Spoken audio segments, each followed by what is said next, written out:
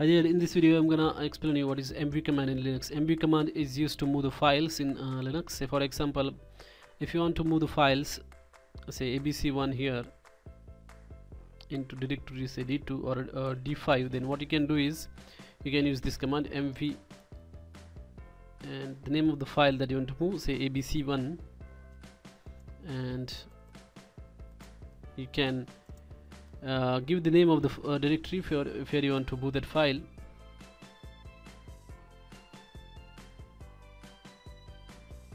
And if you do ls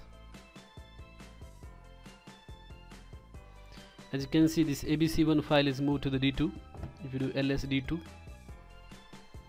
as you can see that abc1 file is there in the directory and uh, what ls uh, mv command does is that it uh, moves the file to the uh, different directory with that same name.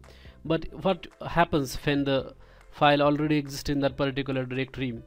In that case a file is overwritten. So if you don't want to overwrite such files what you can do is you can uh, use this command mv-i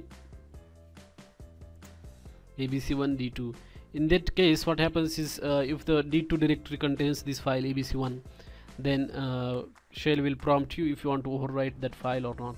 And then if you press yes then uh, it will overwrite. Otherwise it will not overwrite. So that's how you can uh, prevent overwriting the files when you are using this command.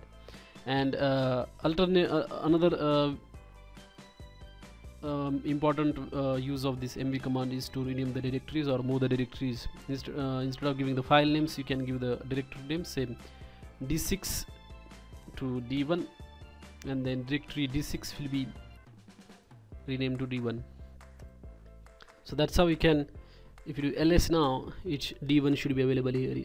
So as you can see d1 directory is over here. So that's how you can rename the directories or uh, move the files directories in uh, linux using mv command. If you like this video you should like button. Thank you